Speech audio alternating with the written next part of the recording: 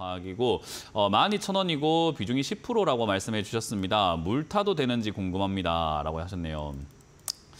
그래요. 뭐 일단 뭐 추가 매수가 가능한가 뭐 이게 이제 궁금하실 텐데 저는 일단은 좀 더 기다려보자라고 말씀드리고 싶어요. 잘 기다렸어요. 지금까지 추가 매수 안 하신 것 같은데 어, 안 하고 잘 기다렸습니다. 이게 제가 원하는 모습이에요. 뭐냐면 안 하고 기다리는 거 이렇게까지 기다려야 돼요. 그래서 이거는 지금 과거에 뭐 올라갔다가 내려갈 때 사셨든 또는 뒤에 올라올 때 사셨든 간에 여기 어딘가 물려가지고 지금 고생하고 계시는 건데 한참을 기다렸죠. 뭐 어떻게 보면 방치가 될 수 있겠지만은 바닥을 안 잡았어요. 이거는 계속 지켜보고 있었다고 하더라도 추가 매수 타이밍은 없었습니다. 지금도 아니에요. 그래서 저는 이거 지금 좀 더 기다려야 된다 생각이 들고요. 대신에 이제 어, 얼마 남지 않다, 않았다 생각이 드는 게 과거에 생겼던 2020년 코로나 때 저점 자리와 거의 흡사한 자리까지 내려갔어요. 거기다가 남해화학이라는 이 기업이 지금 비료 이런 쪽으로 이렇게 하고 있는 데 어, 최근에 이제 뭐 다음 주도 그렇고 이번 주도 그렇고 계속 비가 오잖아요.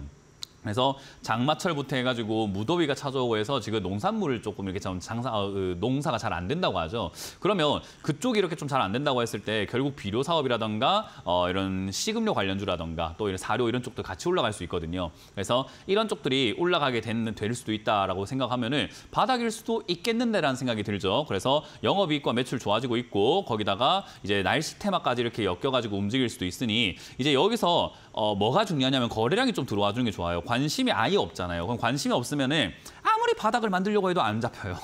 관심이 있어야 바닥이 좀 잡히거든요. 그래서 지금은 바닥 잡기가 힘들고 관심이 생기는 어떤 타이밍을 기다려보자. 아마 이번 7월에 만들어질 가능성이 있을 것 같아요. 장마가 오고 폭우가 쏟아지고 뭐 가뭄이 오고 가뭄은 아니겠네요. 어쨌든 홍수가 나고 어떤 자연재해라든가 이런 것들이 안 일어나면 좋겠지만 어, 사실 이제 테마성은 그런 게 일어나야지 주가가 올라가겠죠. 그래서 남해 화학이라는 종목의 측면에서만 본다면 그런 게 발생이 될 때 주가가 튀어오를 수 있다. 그래서 요즘에 주가가 이제 바닥에서 약간 튀어오 르려고 폼을 잡고 있다 생각이 좀 들고 있고요. 이제 이런 것들이 반영이 되어가지고 거래량이 좀 발생이 된다면은 그때 다시 한 번 더 연락을 주세요. 지금 이제 사실 뭐 지금 추가 매수해도 될 것 같기도 한데 그래도 한 번 더 보고 싶은 마음입니다. 지금까지 잘 기다려왔는데 괜히 마지막에 조금 못 기다려가지고 추가 매수 일을 그르치게 되면 그거 좀 억울하잖아요. 그래서 저는 조금 더 기다려가지고 이번 달 말에서 다음 달 초까지만 지켜보고 다시 한 번 더 어, 연락을 달라. 대신에 거래량이 터진다면은 당장 내일이라도 연락을 주신다면 아마 저 말고도 다른 전문가들이 추가 매수 가능하다라고 이야기해 줄 것 같습니다. 그래서 이거는